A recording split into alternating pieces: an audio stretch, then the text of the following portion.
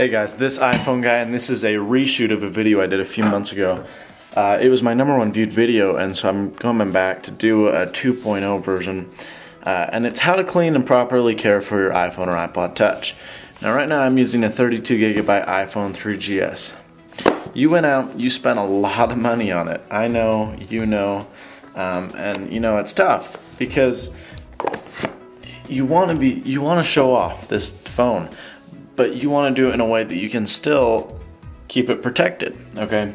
And that's perfectly understandable, and this video is going to show you how to best care for your iPhone that may already be damaged and how to prevent future damages to your iPhone or iPod Touch. Okay, so first we're going to talk about cases. Now there's tons of cases all over all the time. And uh, I mean, it really, your cases can range from a $2 eBay case like this I mean, this is two bucks. Got this for like $2.10 with $3 shipping, five bucks, you know. Awesome, awesome price. Versus this one, that's $125. Uh, it's a collector's edition case made out of this uh, mold injected plastic. This is real carbon fiber back here. So, I mean, there's a bunch of different things you can go with. And then there's a lot of medium cases. The one I was using today was this one right here, the in-case slider, which is a $35 case, and it does the job pretty well. The only problem is it does add a little bit of bulk. Now there is a lot of people that won't like these types of cases because they add tons of bulk. You know, the Switch Easy Serpent, Switch Easy Capsule Rebel. And by the way, you can get most of these cases from our sponsor, www.unlimitedcase.com.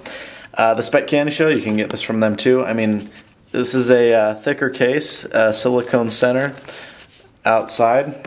I dropped this off the roof, that's why it's so scratched.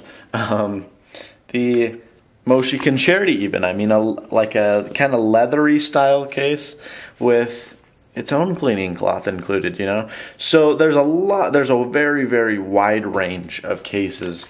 And you just kind of have to pick the one out that's for you. I can't tell you, oh, you're going to love the in-case slider, because you may not.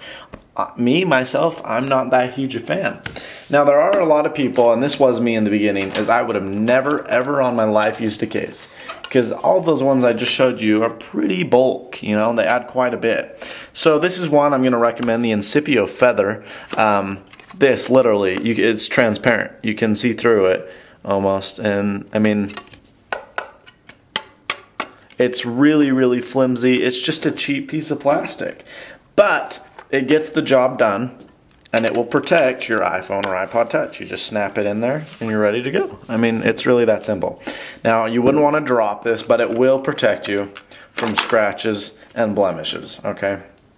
That's a good one. This one, this is the Moshi, I forget the name of it, but there it is right there. You just snap it on. Again, more for scratches. You wouldn't want to drop it. This is the Moshi iGlaze, but it's a decent case and gets the job done.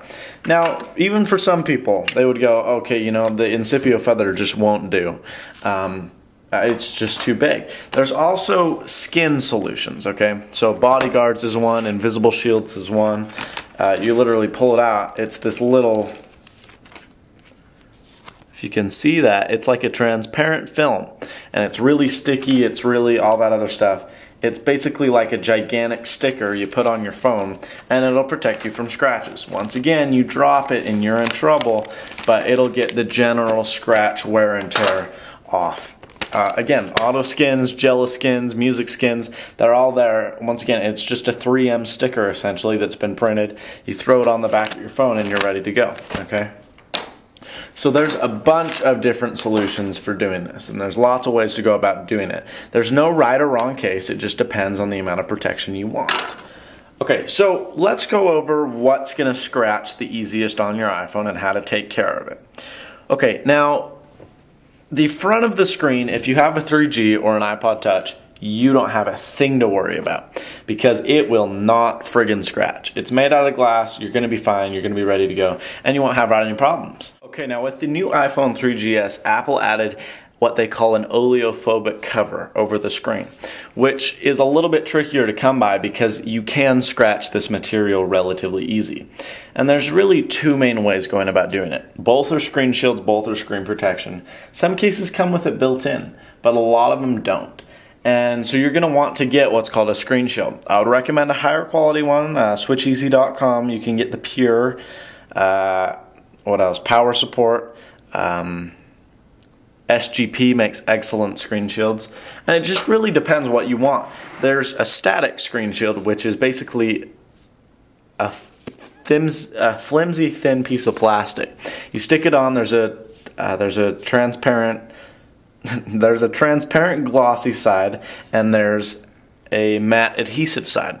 You throw the adhesive side on and you're ready to go and you're all good, right? There's also these solutions and that's the bodyguards. These are a lot more protective because they're physical, like rubber almost. They're intense. Uh, you throw it on there, I mean, there they are right there, and you throw this on, and this is thick, you know, this is heavy duty protection uh, in that regard. Now, uh, so that's one way, and that's one way I would recommend covering your screen. Okay, now for this button, the glass, this is glass, so it will scratch, but not as easy. This button, I just got a replacement three weeks ago, and already it is just chowdered as you can see. Now I didn't do what I normally recommend which is to get one of these screen shields. Just get the front facing ones and what you'll do is take uh, this sticker right here, the little home button sticker, and you're gonna throw it on the home button. Okay, so that will just protect the home button. It's just a little plastic cover and it will prevent your home button from getting scratched. Now, a lot of you are like, whoa, dude, why do you even care so much? Well, it's not so much that I care about the scratches. They do bother me, but it's mostly because of the resale value. When a new iPhone comes out in two years and I want to upgrade, or when a new iPhone comes out next year and I want to upgrade, I want to be able to sell the current phone I have for as much money as I can get the new one unlocked, you know? And you can do this. It's really um, easy to come by if it's in good quality. So if you keep it good, you can sell it really easy and get the new ones. All right, so uh, your chrome will also get really scratched, especially if you use these type of snap-on cases. I mean, hear that? You snap it in physically. It'll scratch your buttons, it'll scratch a few other things like that. And uh, I mean, this Moshi, listen to this. You stick it in and you snap. Now, I mean, at first it's not going to be a problem, but eventually you're going to get enough scratches to snick up the whole side of this. So I don't usually do anything about it until I'm ready to sell it. And then when I'm ready to sell it, what it sounds crazy, but it's called brushing your chrome. And it makes the shiny chrome a really matte stainless steel kind of look. It'll give you like the refrigerator kind of look. I mean, it's this really non-shiny, but it's a beautiful, beautiful silver. And what it does is, how do we do this? You're going to want to go out and get a Scotch-Brite 3M pad, one of those little sponges. And what you do is you essentially abrase or scratch the crap out of the whole side of this. You're going to go, no, no, no, no. But there's tutorials on how to do it. And you scratch the whole side of your phone. And when you scratch it enough, it scratches it so much that it looks like that matte kind of, you know, silvery finish. I mean, this isn't it, but it kind of looks like that silvery, non-shiny silver. And so uh, that's called brushing your chrome, and there's a bunch of tutorials on how to do that. So that's brushing your chrome, and uh, your chrome will scratch really easy. Same with your buttons and your headphone jacks. Now, with cases like the Speck Candy Shell, they try and cover them the best they can. But, I mean, if you're using the same case, then you don't really have a problem. If you're switching your cases in and out every single day to match your outfit like I do, then you're gonna have problems with this, okay? So, um, it just depends. You'll scratch your buttons eventually. There's really no way you can totally prevent everything. Um, you know, you want to use your phone. You don't want to be over obsessive about it, but you do want to make sure that it's protected. So those are the safety precautions you can take. Now we're going to go to actually cleaning your device. So the best way to remove fingerprints and all this other stuff, and this grime down here on the bottom, I'll show you how to remove that. Um, I don't know what it is. It could be glue or something. I'm not quite sure. But uh, what you want to do is get screen cleaner. Now, this is for Monster. It, screen cleaner. It comes. I bought this for 15 bucks with the microfiber and this bottle. And uh, I mean, there's another company called iKlear. They make really, really good stuff. Uh, you're going to want to go out and buy this anti-static non-alcoholic cleaner. Now make sure that it's alcohol free and that it's ammonia free. Okay, so that means absolutely no Windex, no Glass Plus, none of the household cleaners that you have laying around because they will have ammonia and they will have alcohol in them. You do not want alcohol or ammonia because you can streak and ruin the finish on the oleophobic on the iPhone 3G. And you can physically take the paint off the back of your iPhone 3G if you get past the coating, okay? So you want to be careful in that regard and uh, pick up a non-alcoholic, non-ammonia based cleaner. Now, biggest boo-boo is to just spray the device uh, right on. What you're going to want to get is a thicker microfiber. Now, there's two types of microfibers. There's thick filament microfibers and there's thin filament microfibers. Now, a physical microfiber is absolutely teeny. Like, you can't even see them. It's the teeniest thing. Oh, there's one right there. You see that? That's one fiber, okay? And no, that's actually five. The tip of that is one fiber, but you can't even see that. It's not even visible. So, I mean, there's tons and tons and tons of tiny fibers that they all lace together into this little section or cluster. And then they do that a bunch of times, and it looks like a thicker look. Now, there are uh, microfibers out there that aren't laced. There's just a ton of teeny little fibers. I don't recommend those because they don't usually get any stuff off, you know. They just kind of like, eh, you know, that's okay, whatever. They don't really get the job done. Now you're gonna wanna make sure your microfiber is clean. Mine is not at all. I have like wood chips and crap on them, but uh, uh, the best thing to do is just run it through the wash. Most of them are machine washable and just throw it in with a, a laundry load and you're good to go. Now, what I like to do is fold mine into quarters or to get it into a, you know, a pretty sizable piece, but one that's not too big. Take it and spray it five or six times, okay? So you can get it pretty damp, you know? Then you're gonna take it and rub it against your device. You can take your phone, you can uh, wrap it in. Most people have just been like, no, well, we gotta go, oh, really carefully, really. I'm not a big Nazi about that. I just take it, kind of get it all down. And, uh, you know, I use my shirt to wipe fingerprints off. I use my shirt to clean it. Everyone, I think, does. There's a few people that are like, no, never use your shirt. I don't have a problem with it.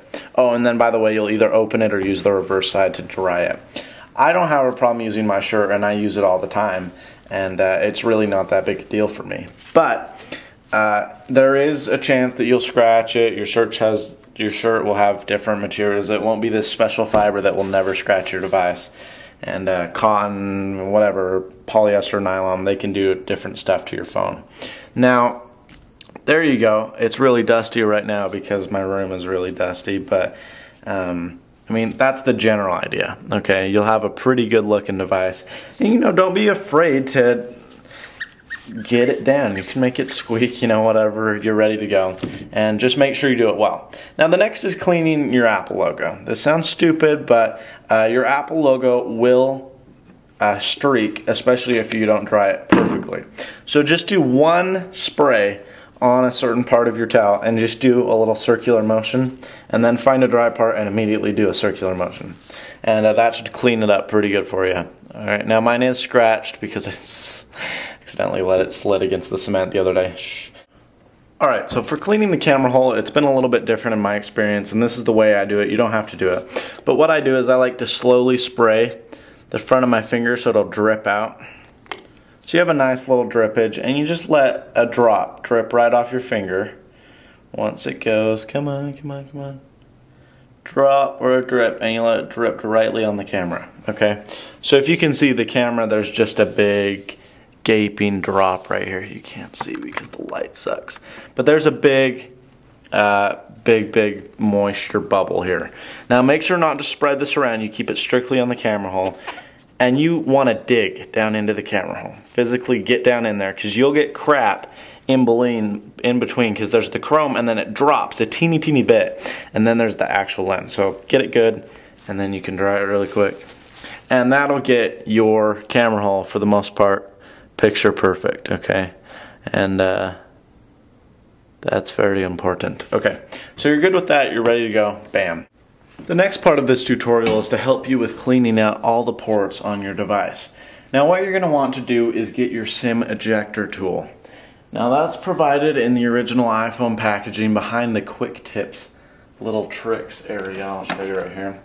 In your box right here, you pull up this lid, you open it up, and your SIM ejector tool should be right here. Now I have misplaced mine and so a unwound paper clip will substitute just fine. So you, oh dear, you take a paper clip and you simply pull it open. Okay, there we go. I mean, that's very that, it's that simple. So first we're gonna do the actual SIM tray. What you have to do is stick it in this little tiny hole up at the top of your device and simply push down firmly. The top of the tray should pop out and for some of you that are super freaks you can turn the device off because you may not want to come in any contact with another metal object. If you're really that anal about hitting something or short circuiting something you can simply uh, use a paper a paper clip made out of paper and you can dig some rolled up paper around but it's not as effective. So you pull your SIM tray out and you should already notice all along the top of your SIM tray there will be a bunch of dirt. And that's great because the SIM tray has been doing its job and it's been catching all the dirt and lint. So you can just rub with your finger, you can scrape it off with your fingernail, or use your microfiber towel to get that off. Be very careful not to break this tray because it's very fragile and uh, it's it is a part that you need to keep intact. So. Then we can set that off to the side. Now we do have this gaping hole right here. I do not recommend sticking the paper clip further than this hole right here. So you can see it right, see that hole? There's a ledge. Do not stick it lower than that white ledge, okay? Because there are uh, little con connectors and pins in there for the SIM card, and you don't want to jostle those around and possibly break one. So there's just going to be dirt aligned all along here. Just take your um, paper clip and kind of saw at it. It sounds scary, but you really just rub back and forth and kind of get the basic crap off. You can even take your microfiber towel and rub, if you can get a part of it in there, kind of stick your fingernail down in there like that and rub in with the SIM tray and you'll be able to get most of the debris out. Take your SIM card, place it back in the tray and place the tray back in to the phone. Okay, we're going to go on that. Next part is the headphone jack. Now, if you do this right, you're going to get a lot of crud out. If you don't do it right, you may not get much out, and that's assuming you haven't ever cleaned it. If you've cleaned it recently, you may not get that much stuff out. I cleaned it in an earlier take of this video, so there's not a whole lot of this that will come out, if any.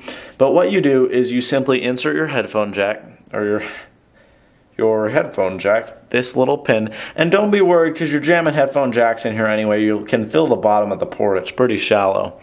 And uh, so there you go. You take it and you put it down in. Okay. Now the best thing to do is to pull upwards or pull downwards so that the top of this pin is not it's touching either one of the top or bottom walls. So you take this and you sweep against the bottom. You take it, you sweep against the bottom. You'll see that you will start to pull out little filaments, little fibers, and all that other stuff. So once again, you take it, you stick it in straight, and then you bend it upwards and pull. So you're scraping the plastic inside, and that will get a majority of the garbage out. Now, another thing here is the vibrate switch. If you turn this on and off a lot, you're going to have serious troubles getting this out. The most dirt comes in right here in this little ledge and along the side. It's really pretty easy to remove. You just take your little tool, be careful, but you just saw at it for a little bit, and then you can take your microfiber and kind of just do the finishing touches. Then we're going to work on the dock connector. Now as you can see there is a connection port in the middle. Be careful not to disturb this. You can go along the top for sure and if you're brave and mischievous you can bend your clip even to go along the bottom. I don't recommend it. I've only done the top and that's what I recommend doing. So you take the top here and you just dig at it. You go on the top, you kind of scrape scrape towards the side, and then when you get to the side, this is hard, I'm sorry, my fingers are fat. You're gonna scrape, and when you get to this side, you're just gonna kind of pull out. You're to flick out, getting it against the wall. Now you're going to see that you'll pull a lint ball out that's that big. It's disgusting how much stuff gets down there. So you really just take it and you flick and just kind of get it out. You'll be able to do most of it, and I don't recommend sticking your microfiber down in here because you'll really just put little fibers down in there and that's not that good. Okay, so then you're gonna work on your screw holes and your speakers. Now if you can see that on the point of this, I just got a bunch of dirt out. That was from one of the screw holes. All you do is you just take it and you'll see the dirt. It comes off really, really easy and you just get it with your paper clip on the side. It just comes right out and uh, you're ready to go. So there's, there's some dirt right there. You just pull up and it comes right out on the paper clip. Now, don't dig around too hard here because you can uh, mess up the microphone and the speaker. Just be precautious. I mean, it's not like you have to be careful, but don't just go digging around in there. So that's about it. That's honestly how you can clean your device. Uh, it's just a matter of protection. If you protect it, if you take care of it, you're not going to have problems. Now, if you're not one to rock one of these big, huge cases, that's not a big deal. You know, just find one of these littler solutions. You can even go with these skin solutions. Uh, it's a very, very easy process. You're going to be very happy in a year when the iPhone 3GS 4.0 comes out and uh, you want a new phone and you can't sell yours because yours is trashed. So just take good care of it, never get your phone wet, and uh, you'll be ready to go. Thank you for watching. That's Snazzy iPhone Guy. Uh, please subscribe, rate, and comment. Thank you for watching, and check out my other channel, This iPhone Guy. Thank you, and as always, stay snazzy.